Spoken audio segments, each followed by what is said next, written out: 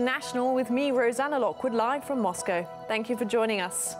Now, video has emerged from Syria showing a member of the White Helmets rescue group allegedly handling the decapitated bodies of Syrian soldiers. A warning, the following video does contain some pictures you may find distressing.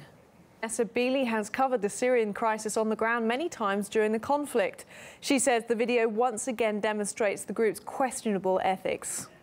100 days to go before the general election in Germany, Chancellor Angela Merkel has literally been spelling out what her country now stands for.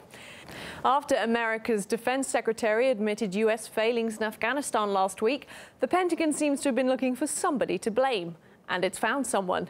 Because attempts to settle the Afghan crisis have seen several surprising methods tested love of junk food could cost you your job.